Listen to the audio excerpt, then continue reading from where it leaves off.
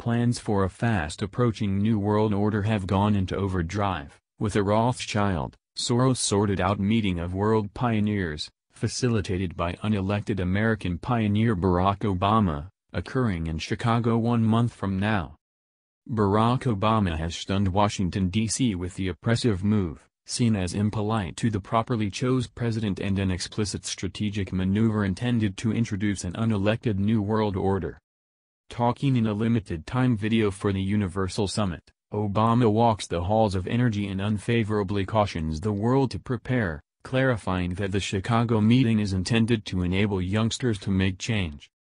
This October, we are uniting several pioneers from all around the globe for a hands-on raid of thoughts in the place where I grew up, the city of Chicago, the previous president declared in a clasp on Twitter. This administration summit will be a place to accumulate and gain from each other and afterward backpedal to your groups to lead others in the diligent work of progress, he said. The previous president will be joined at the summit by his significant other, previous First Woman Michelle Obama. The two-day inaugural summit, occurring October 31 to November 1, will welcome several youthful pioneers to trade thoughts, investigate innovative answers for basic issues and experience metro workmanship, innovation and music from around the globe, as per the Obama Foundation.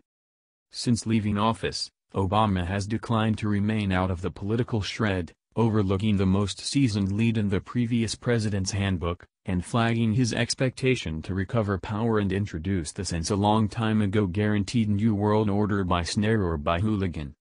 Working intimately with the predominant press, George Soros and the Rothschilds, the Obama machine keeps on crushing endlessly at this objective.